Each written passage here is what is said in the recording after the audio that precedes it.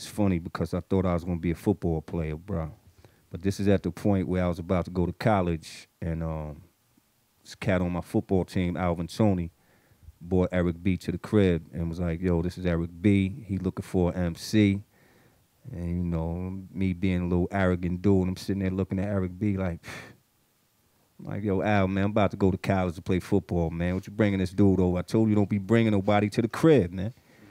But um, he's like, yo, he know Magic and Marley Marl, and you know what I mean. So I was like, all right. And I had a tape that I made, so when I went to college and MC started beefing, I can just put my tape in. I was at the point where I ain't, you know, I ain't even gonna rhyme. If somebody start beefing, I'm just gonna put my tape in. You know what I mean?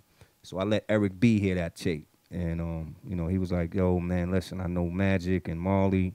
You know, we can go make a record, such and such."